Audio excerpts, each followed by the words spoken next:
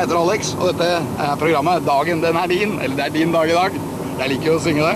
I dag er det dagen Jørn Stubberus. Det er Jørn Stubberus dag i dag. Han blir også kalt for Nekrobutcher fordi han har spilt i et band som heter Mayhem, hvorav to av bandmedlemmene er avgått ved døden.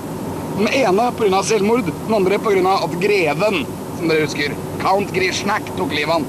Vi skal finne ut hva de driver med i dag, og hvorfor i all verden får han en hel dag sammen med meg. Følg med, vi er på vei til Ski utenfor Oslo. Det er mange som lever i en eh, illusjonsverden, ikke sant? og det er klart at vi har gitt dem en illusjon. Eh, vi prøver ikke å ta det fra dem. Så vi gjør greia vår rundt omkring, men det er klart at hvis det kommer en backstage, så blir alt ødelagt for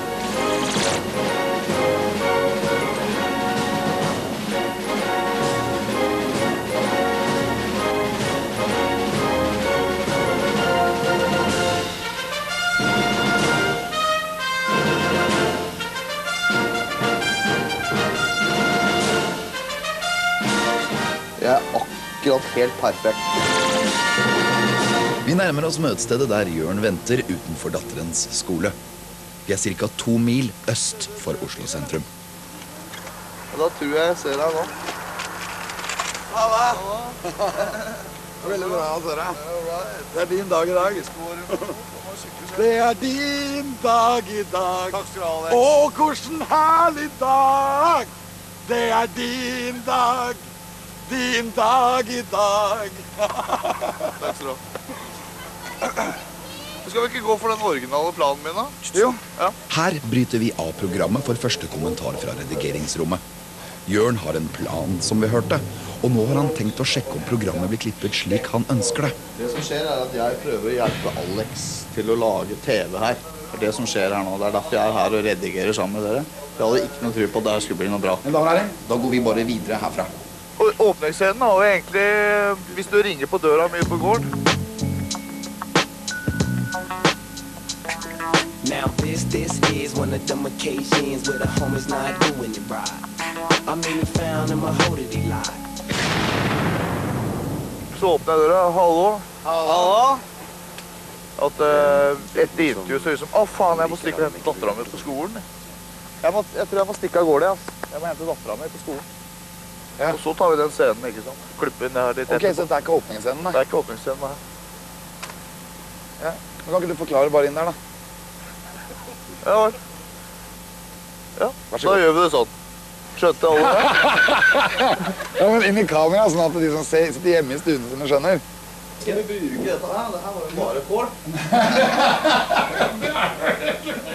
Jeg tror vi skal bare gjøre av det, Altså. Ja. Så kjører vi hele redigeringa seinere. Den her, her ser jo ikke bra ut. Omstart! Vi, vi spoler tilbake.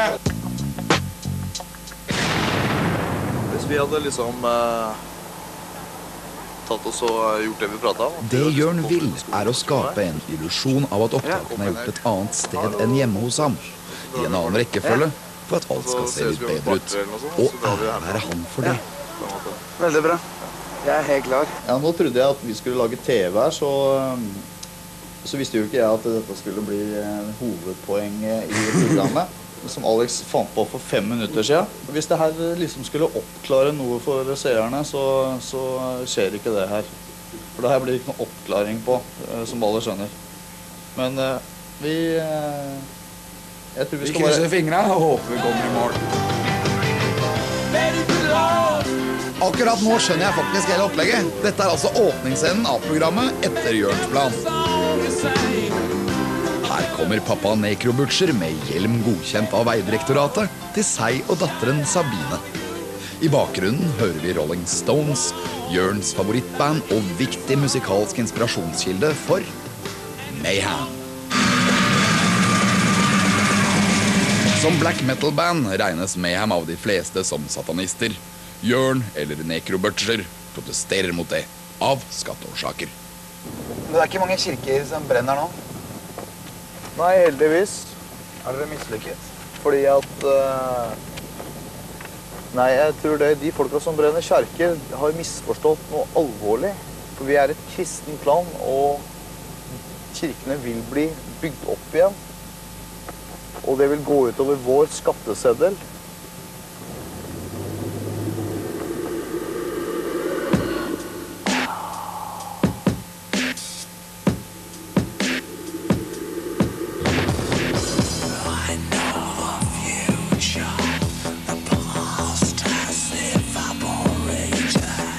Sjekk den, da!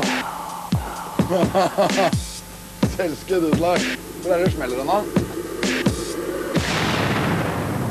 Når var det de tok av for meg, liksom? Skikkelig. Når var det dere ordentlig tok av på konserter og Vi, vi spilte, begynte å spille konserter i 1985, men eh, Men eh, Mayhem som headliner eh, At folk kom bare for å se på oss når vi var på plaketten, det skjedde vel ikke før i 88-89. Men betyr ødeleggelse. Ja, eller lemlestelse. Men du hørte på kanskje mer Ja, jeg hørte på Motorhead òg. Ja. Twisted Sister. Ja. I wanna rock, rock! Den tida. Det er 84, ikke sant? Riktig. Hørte du på deg? Nei, Den tida hørte jeg på Motorhead og noen andre metal-band, men det, det Venom? Venom også, selvfølgelig. Men, Manowar? eh, Manowar dem eh, har jeg aldri likt. Det ser ut som en gjeng med homser. Det er de sikkert òg. men eh, det er Rolling Stones som er bandet mitt. Jeg digger rhythm and blues og syns det Stones gjorde mellom ja, 67 og par og 80 var genialt.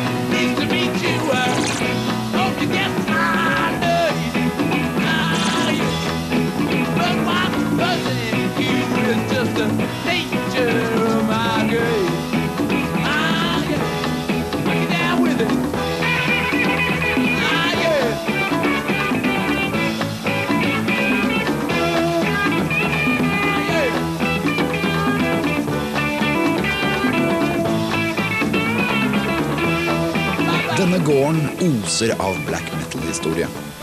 Her er øvingslokalet der Mayhem unnfanget sine største øyeblikk.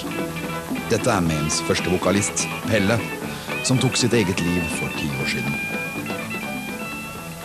Som sagt, han var jævlig opptatt av døden. Og eh, han var ikke helt frisk. Han hadde en eh, etter døden-opplevelse. Han eh, sprakk milten. Han var en 11-12 år gammel. Eh, og da han våkna opp og huska at han hadde sett en tunnel med noe lys og noe greier, etter det ble veldig fascinert av det, her, eh, det han hadde opplevd.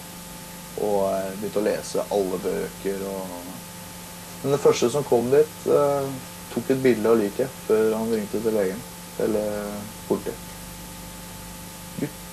Da var vi litt på å bruke det til eh, reklame for den nye skiva. På en måte Skyve det litt fram eh, i pressa og bruke litt det som promotion til den nye skiva. Jeg var litt uenig i akkurat den taktikken der, for jeg syns det var feil eh, At vi skulle fokusere mer på, mu- på musikken, ikke på sånn sladreopplegg. Det blei helt ble helt obsessed by det. Kalte seg sjæl for dead og gravde ned alle klærne sine for å få For å få denne råtne decade-lukta liksom fra klærne på scenen.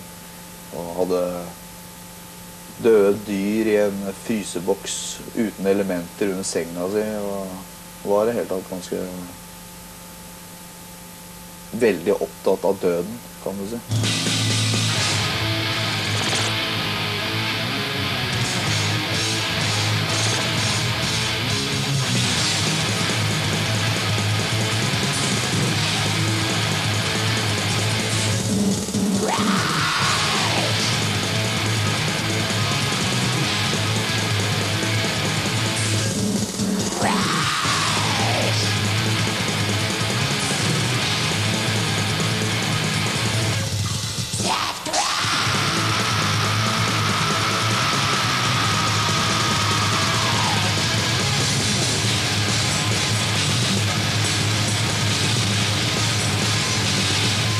Den mest kjente historien om Mayhem handler om den nye bassisten som skulle ta over for Jørn i T1.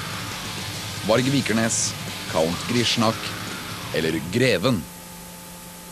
Og den nye vokalisten Øystein Aarseth, alias Euronymus. Etter et par år så, så endte jo alt sammen med at Øystein ble drept så, av eh, Vikernes. For et halvt år siden ble han siktet for å ha tent på flere kirker, og satt fengslet i seks uker, men ble så løslatt. I dag ble den såkalte greven i satanistmiljøet siktet for drap under særdeles skjerpende omstendigheter på Øystein Aarseth. Hvordan startet det, den, den krangelen mellom Aarseth og greven? Det var vel eh, økonomi og arrogante hold- holdninger og sånne ting som eh, begynte å tilspisse seg, og jeg tror eh, de eh, kjørte hverandre opp i et hjørne. Men eh, når det skjedde, så ble jeg jævlig sjokkert. Hvor var du da når det skjedde? Ja, jeg var nok hjemme. Ja, men det her er jo veldig sånn sensasjons... eh, sensasjonsgreie, dette her. Det her er jo ikke noe komiprogram. Ja, det som har foregått nå, er at uh, Jørn er inne her fra hjemmefra for å komme hit i studio og sjekke at eh, vi er på linje, og at vi gjør de tinga vi skal. Er ikke det? Ja. og så hva da? Ja Ja, jeg er jo, jeg må jo få lov til å se på VOF-tapen før, eh, før dere sender det på lufta. Før dere blir arrestert hele gjengen. Da går vi bare videre herfra. Jørn har endt opp som nekrobutcher. Bassist i verdens første og største black metal-band. Hva var det som brakte en gutt fra Ski dit? I programmene i denne serien har vi slått fast at den viktigste påvirkningen for et menneske skjer i det året man blir 17. For Jørn var det 1985. Arne Treholt mottar dom på 20 års fengsel for å ha hatt med feil folk å gjøre. Communism works only in heaven where they don't need it, and in hell where they've already got it. Gorbatsjov og Reagan møtes i Genéve, og den kalde krigen går mot slutten. Noe som gjenspeiles i populærmusikken. Verdens beste film har premiere. Og i Paris åpnes et nytt motehus av Facebook og Det blåste kaldt fra Høyre ved stortingsvalget. Og alle norske artister samlet seg om synspunktet at det kan være hardt å bo der du bor. Så noen flytta til London. Klarer dere å bli verdensberømt, tror dere, med all den hjelpa dere har fra plateselskap og manager og Ja. Det var 1985, året da menneskenekrobutsjer ble formet. Jørn er friluftsmann. Han elsker å spenne på seg skien og suse av sted inn i skogen rundt Røros. Og klare seg bare på tørka reinkjøtt og det naturen gir. Hjemme på gården har han en praktfull hage som virkelig er verdt en titt. Nei, det er, eh, Hvis jeg blir jævlig sliten uh, under hagearbeid, så har jeg en stol der som jeg kan sitte og slappe av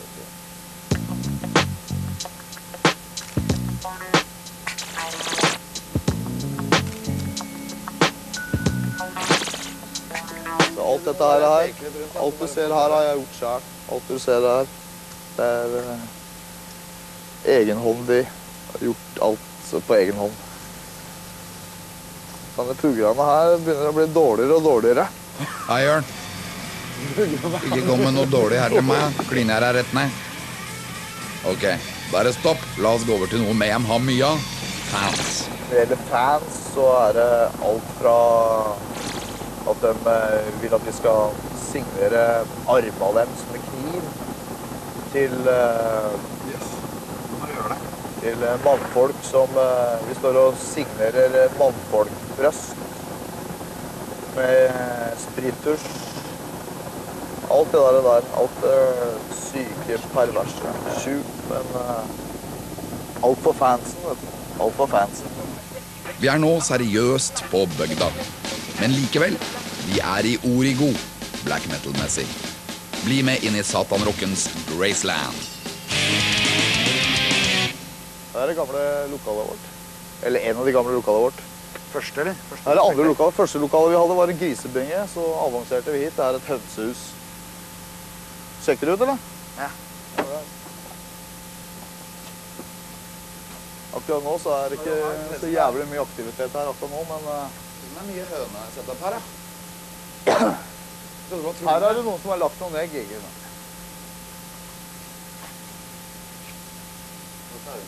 Dette her er sånn eh, følelse får du når du er her nå? Jeg er ikke glad i det huset her. Men jeg er glad det står her ennå. Blir du lei deg når du er inne? Føler du Nei. Lei meg når jeg er her, nei. Nei. Når er det du blir lei deg? Når jeg blir lei meg? Ja, jeg, begynner, jeg har begynt allerede å bli litt lei av å være her nå. Så nå er jeg litt lei. Akkurat nå er jeg blitt litt lei. Så skal vi stikke videre, eller? Hei! Tropp! Ja. Men når gråt du sist? Eh, når jeg gråt sist, var vel eh, Pja Ikke godt å si. Det husker jeg faen ikke.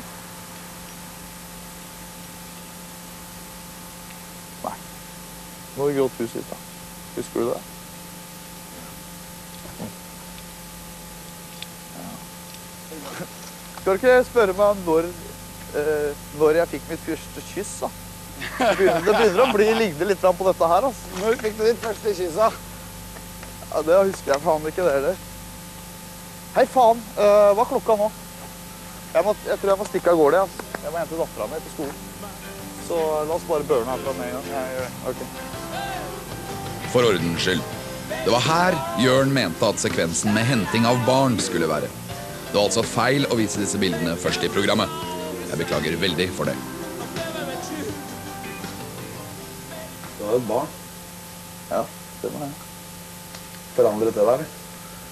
Egentlig ikke. Eh, men jeg så alt i et større perspektiv. Så eh, jeg, at jeg tror ikke jeg forandra meg som person, men eh, det ga meg et eh, helt eh, nytt perspektiv.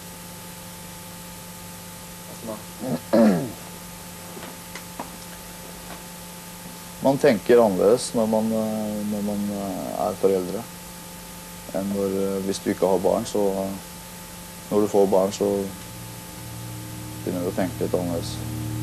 You know, Western society has been haunted by a disease for 2,000 years now. And the disease is called Christianity. And it has a virus called priest. And priest has to realize that there is a time to die.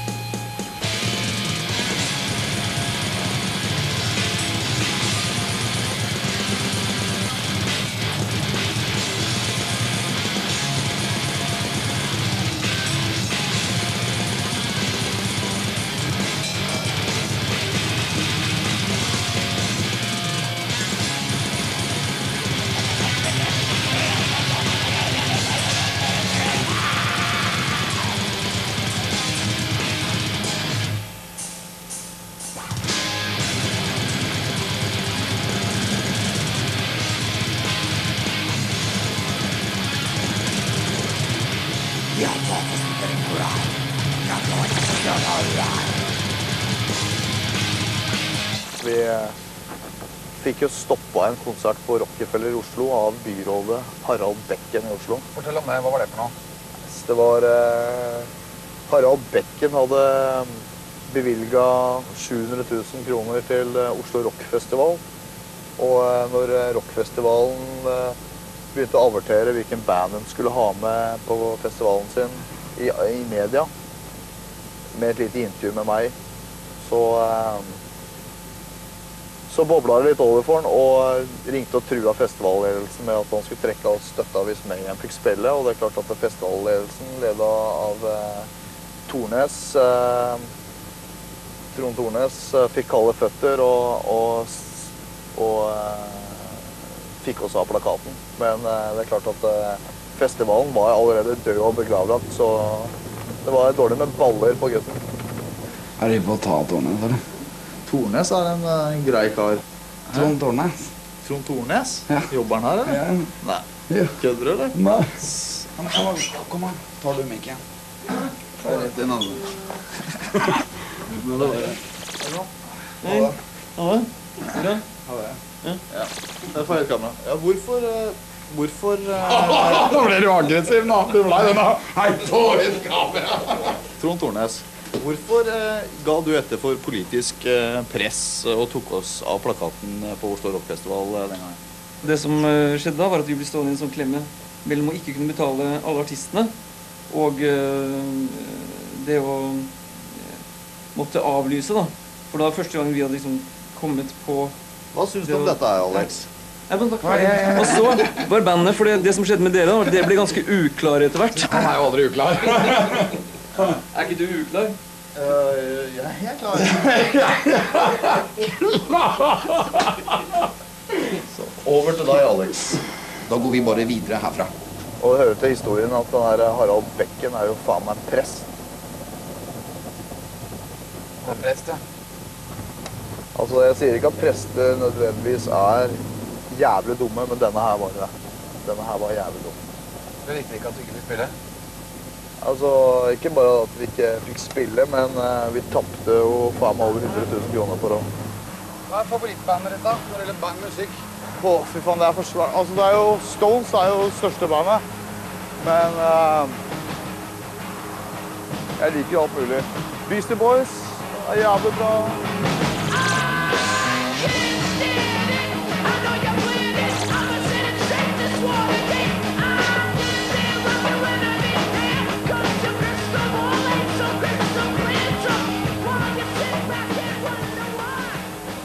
Jørn, som den friluftsentusiasten han er, har selvsagt båt. Her ved idylliske Ulvøya, ti minutter fra Oslo sentrum. Hva er det med båtlivet du liker, da? Nei, det er friheten på turen, da. Det er ikke noen bremser på båten, altså. Det er det jeg liker. No breaks, no limits. Er du kristen? Nei, jeg er ikke religiøs. Jeg er ateist. Er du ateist? Ateist og anarkist. Rocka båt, da. Føler du deg som sjømann? eller? Jeg, ja. Det er jeg, og så er det skipperen. Du føler deg som sjømann, da? Å ja. Er det full gass, eller? Nei, det skal være masse paller å hente her, men vi er drittfulle folk og masse vann i båten. Nei. Hva er det som skjer med da? Nei, Det er han, sånn fordi det er mye vann i båten. nei, det er fordi at uh, det kommer falsk luft. Den motoren kommer og går litt. sånn. Det er, eh, jeg vet ikke helt hva det er for noe. Det er, det, det er den ledningen som begynner å bli gammel og grå. Det skal vi ikke ha med. Den båten her er dødskul og funker hele tida. Hvordan står du politisk? Politisk? Tja Jeg tenker på dette. ha- Greven er nazi og Ja. Nei, jeg er, ikke, jeg er ikke politisk aktiv i det hele tatt. eh, på noe som helst måte. Eh, hvis uh, sosialisme hadde virka, så hadde jeg sikkert vært det, men eh, jeg er vel eh, litt mer borgerlig blitt med åra. Så er det jævla avgiftene den driver pålegger oss hele tida. Så kanskje vi trenger en ny høyre- høyreregjering for å for å bruke jævlig mye penger på oss sjøl, og så får sosialistene overta etterpå og så prøve å redde redde dagen for de aller svakeste i samfunnet til slutt. Er det lett å bli assback til bransjen?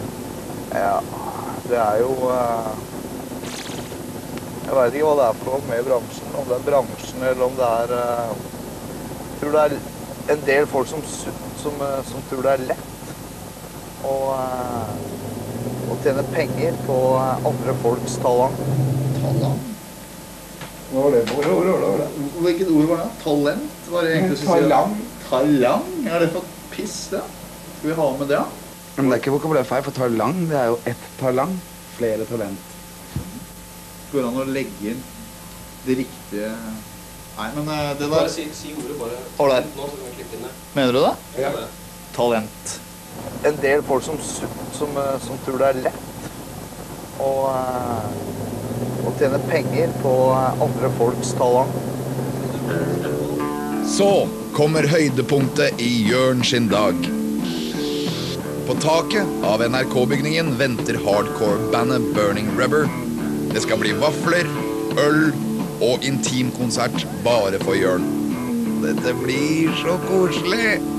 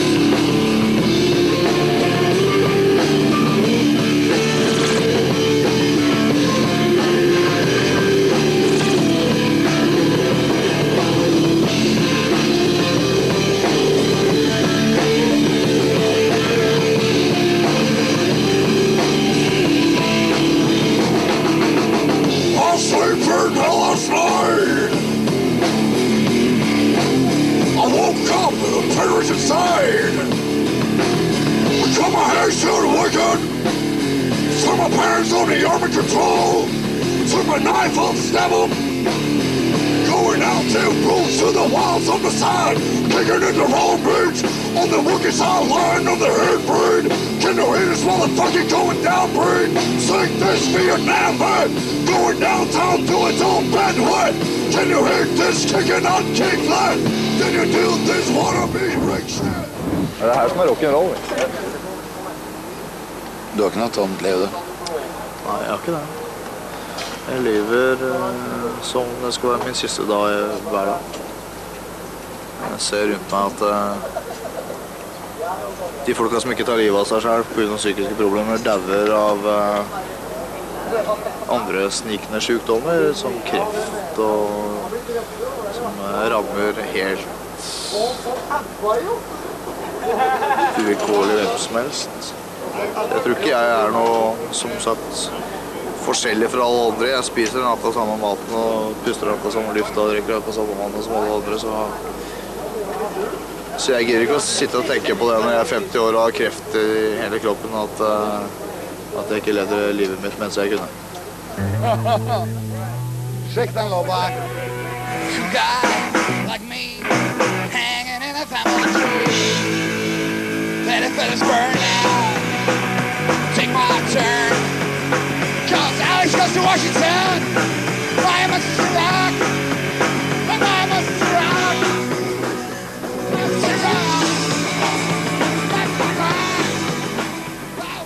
Fikk du det, eller?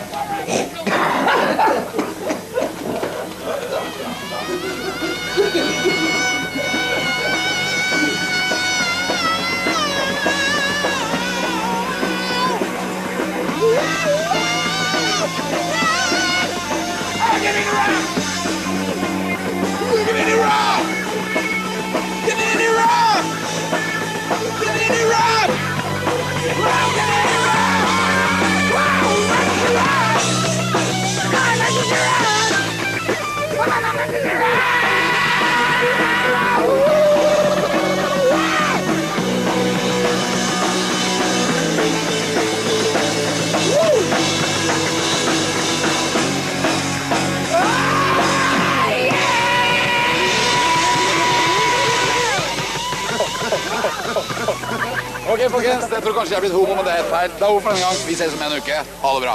Med Alex på NRK1.